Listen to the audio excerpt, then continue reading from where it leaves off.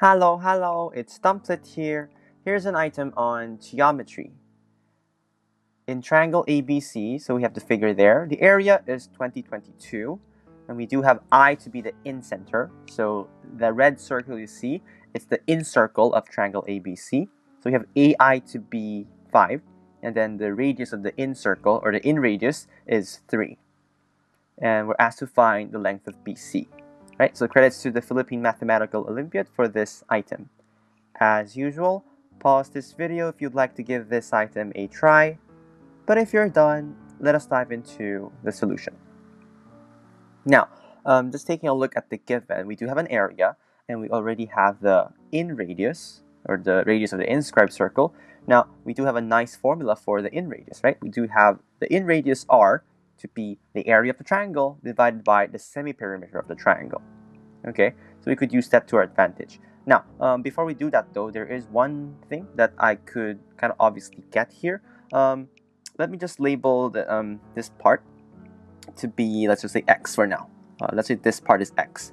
Now, I do have a small right triangle over there, and it's going to be 3x and 5. Now, some of you guys might be familiar with it already.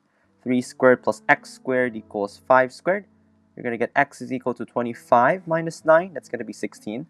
And we're going to get x equals 4 from here. So um, that length of x, that's going to be 4. And we're going to use that later. But then again, it's a geometry question. It's nice to have a lot of lengths around. All right, so that part's 4. And now let's actually use the in radius uh, to kind of give us something. Because we do know the area, and we do know the in radius. So uh, the in radius is 3 based from the given. So 3 is equal to 2022 divided by the semi-perimeter. So the semi-perimeter would be 2022 divided by 3. Luckily for us, that's divisible, so that's going to be 674. Now with this, we could actually get the perimeter of the triangle as well. But let, let me just write this as um, the semi-perimeter being equal to 674. Let's remember that for now. And next, um, let's take a look at the tangents here. Now, um, a while ago, the length of x uh, that's technically going to be the length of AF now. So AF would be 4. Now, we do have the nice property of tangents. For example, um, AF and AE, they are both tangents from an external point, A. So they're both tangent to that red circle, the in circle. So AE should also be 4. Okay? With the same logic, BF is a tangent, and BD is the another as the other tangent from B. So BF and BD should be of the same length. I'm going to highlight it in yellow. And then the last one, we're going to have EC. Let's highlight this in green.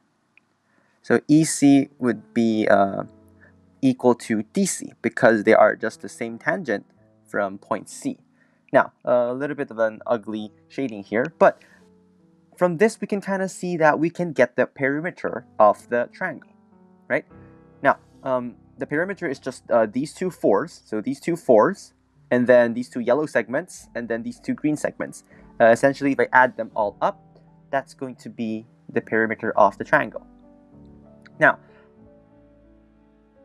uh, twice the yellow and twice the green, that's going to be twice of BC because we know that BC is that is this yellow segment, this yellow segment plus this green segment. So BC is yellow plus green, and I could add everything up. So I have two fours, right? Two fours, two yellows, and two greens. But I know that two yellows and two greens, that's going to be a yellow and a green. So essentially I'm doing 2 times 4, so twice the blue, and then 2 times BC. BC is the yellow plus green. So twice the 4 plus twice the BC would be, uh, would be the perimeter. Now going back, we do have S to be 674. So, so the semi-perimeter is 674. So obviously the perimeter would be twice of 674. Now I don't have to evaluate this one because I do have a lot of 2's I could cancel out. That's nice. So 4 plus BC, that's 674. So BC is essentially just 670. So the length of BC, it's going to be 670. And this will be our final answer. Hopefully you guys learned something new from this video and I'll see you in the next one. Bye bye.